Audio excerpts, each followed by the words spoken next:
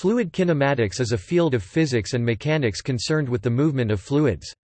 Fluids tend to flow easily, which causes a net motion of molecules from one point in space to another point as a function of time. These fluids may be liquids or may be materials with fluid properties, including crowds of people or volumes of grains. Using the continuum hypothesis, fluids are classified into fluid particles, which are composed of numerous fluid molecules.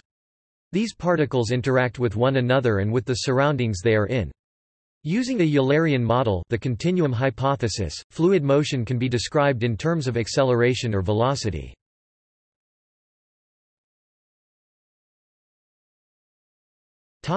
Unsteady and convective effects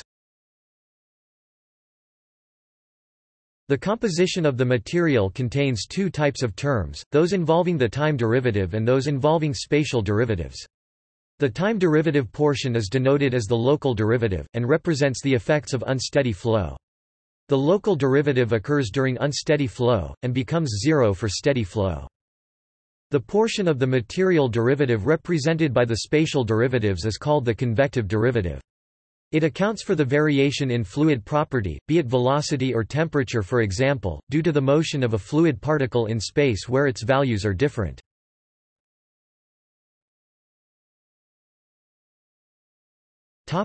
Acceleration field The acceleration of a particle is the time rate of change of its velocity.